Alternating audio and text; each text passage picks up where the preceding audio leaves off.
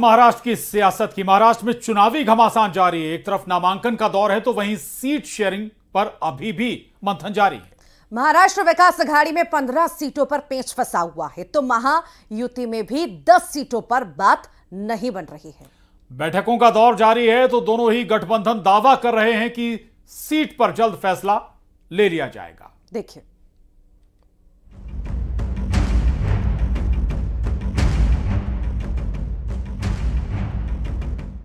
महाराष्ट्र का महाचुनावी दंगल शुरू हो चुका है आज मुंबई से लेकर नागपुर तक दिग्गजों ने नामांकन किया नामांकन करने वालों में देवेंद्र फडणवीस भी शामिल हैं। नागपुर दक्षिण पश्चिम सीट से देवेंद्र फडणवीस बीजेपी के उम्मीदवार हैं। नामांकन से पहले फडणवीस ने नागपुर में रोड शो किया फडणवीस महाराष्ट्र के सीएम रह चुके हैं और फ़िलहाल महायुति की सरकार में डिप्टी सीएम हैं।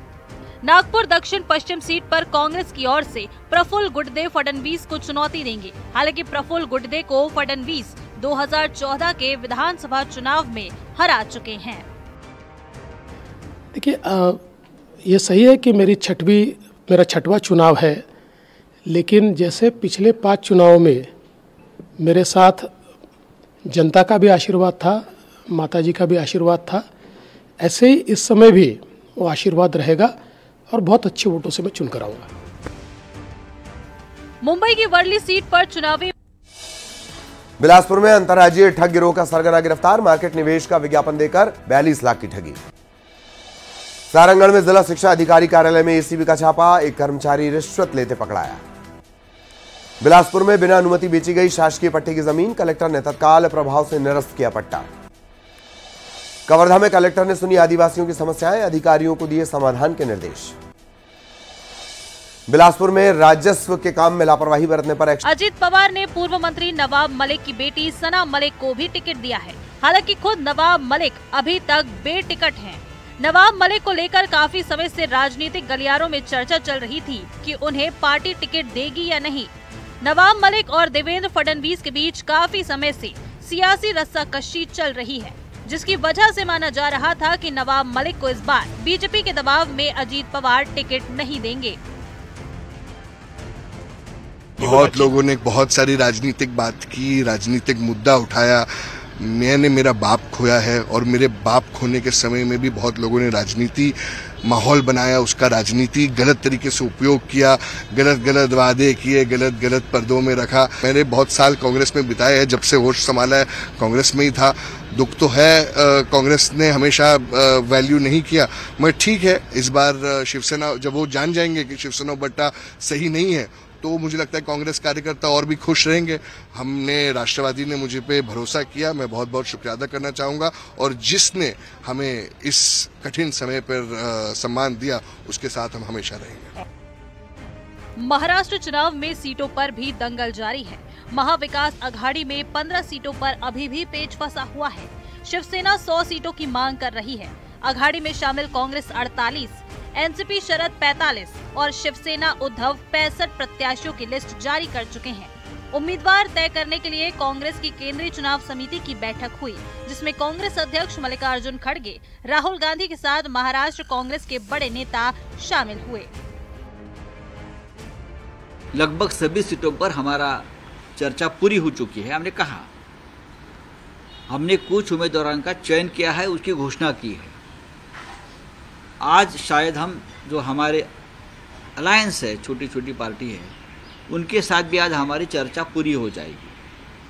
फिर जो सीटें बचेगी, वो वापस हमारी तीन पार्टी में उसमें चर्चा होकर सोमवार तक पूरा निर्णय, पूरी यादी, पूरी लिस्ट आ जाएगी, क्योंकि बाकी दो दिन बचे हैं, मंगलवार तक, उससे पहले हमको नॉमिनेशन फ़ाइल करना पड़ेगा। महायुति के घटक दलों के बीच में भी कुछ सीटों पर फाइनल फैसला नहीं हुआ है। लेकिन कहा जा रहा है कि 11 सीटों पर फैसला बाकी है। हालाँकि फडनवीस का कहना है कि सीटों का पेच सुलझा लिया गया है। ब्यूरो रिपोर्ट न्यूज़ 18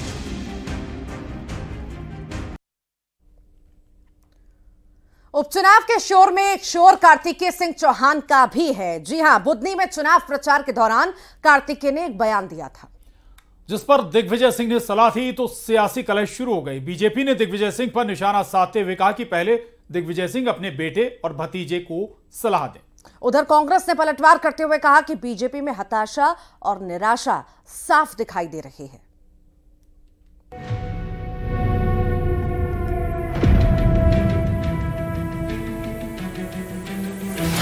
बयान पर सलाह शुरू हुई कलह।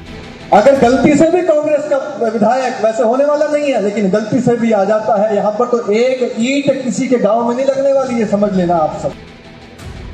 कार्तिकीय को नसीहत गरमाई सियासत। बीजेपी का वार कांग्रेस का पलटवार। अरे दिग्विजय सिंह पहले अपने घर में आप इस प्रकार की चीज़ों को करिए घमंड और अहंकार बताता है कि भारतीय जनता पार्टी कितने निम्न स्तर पर आ चुकी है। एमपी में उपचुनाव का दंगल जारी है। कांग्रेस और बीजेपी के दिग्गज चुनावी प्रचार में जुटे हैं। इस बीच शिवराज सिंह के बेटे कार्तिकेय सिंह के एक बयान पर सियासत शुरू हो गई है। सबसे पहले आपको कार्तिकेय का वो बयान सुनाते हैं जिस पर बयानबाजी का दौर चल पड़ा है। अगर उन्नीस साल बीसा हुआ किस मुँह से जाएँगे हम हमारे नेताओं के पास काम कराने के लिए कौन सी सड़क लेके जाओगे? अगर गलती से भी कांग्रेस का विधायक वैसे होने वाला नहीं है, लेकिन गलती से भी आ जाता है, यहाँ पर तो एक ईट किसी के गाँव में नहीं लगने वाली है, समझ लेना आप सब। पर तो एक ईट किसी के गाँव में नहीं लगने वाली है, समझ लेना आप सब। पर तो एक ईट किसी के गाँव में नहीं लगने वाली है, समझ लेना आप सब। पर तो एक ईट किसी के गाँव में नहीं लगने वाली है, समझ लेना आप सब। इसी बयान को लेकर कांग्रेस के वरिष्ठ नेता दिग्विजय सिंह ने कार्तिकेय को सलाह दी है। दिग्विजय सिंह ने सोशल मीडिया पर पोस्ट करते हुए लिखा कार्तिकेय, अभी से इस प्रकार का भाषण न दो। अपने पिता शिवराज सिंह चौहान से सीखो। लोकतंत्र में सरकार और विपक्ष दोनों मिलकर भारत निर्माण में सहयोग करते हैं। दस साल तक मैं मुख्यमंत्री रहा, लेकिन मैंने इस प्रकार की भाषा का कभी उपयोग नहीं किया। आपके पिता गवाह हैं। पंचायत राज कानून में निर्माण काम करने के जिम्मेदार सरपंच की होती है, न कि विधायक की। और आप तो अभी न सरपंच है और न विधायक। आप मेरे पुत्र नहीं, पौत्र समान है। ये मेरी राय है। आप माने ना माने आप जाने। और सचमुच में मेरे लिए तो ये बड़ा प्रसन्नता का विषय है कि आदरणीय चाचा साहब मुझे और मेरे बयानों को इतनी नज़दीकी से देखते हैं। इसके लिए उनका आभार। और दूसरी तरफ़ जहाँ उनके बयान का सवाल है जहाँ कांग्रेस के बयानों का सवाल है उनके नेताओं के बयानों का सवाल है वो सब डरने डराने की बातें करते हैं। दिग्विजय सिंह की सलाह पर अब सियासी कलह शुरू हो गई है। बीजेपी ने निशाना साधते हुए कहा दिग्विजय सिंह पहले अपने बेटे और भतीजे को शिक्षा दें। वहीं कांग्रेस ने पलटवार करते हुए कहा कि कार्तिकेय का धमकी वाला लहजा बता रहा है कि बीजेपी किस तरीके से हताश और निराश है। देखिए, वो दिग्विजय सिंह जो स्वयं के अपने पुत्र और भतीजे के क्रियाकलापों पर नियंत्रण नहीं रख पा रहे, हमने देखा कि किस प्रकार से अधिकारियों के साथ सिगरेट के छल्ले उड़ाते हुए, बेहद ही अशोभनीय आचरण करते हुए उनके जो भतीजे हैं, वो कैमरे पर रिकॉर्ड हुए थे। वो आज भारतीय जनता पार्टी के नेताओं, कार्यकर्ताओं को सब सदाचरण की सीख दे रहे हैं। अरे दिग्विजय सिंह, पहले अपने घर में आप इस प्रकार की चीज़ों को करिए और कार्तिकेय चौहान ने जिस तरीके से जनता को धमकी दी है, कहा कि अगर बुधनी हारे तो एक ईट नहीं लगेगी। ये घमंड और अहंकार बताता है कि भारतीय जनता पार्टी कितने निम्न स्तर पर आ चुकी है। फ़िलहाल उपचुनाव के बीच कांग्रेस और बीजेपी के बीच कार्तिकेय के बयान पर तकरार जारी है। Bureau report, news eighteen.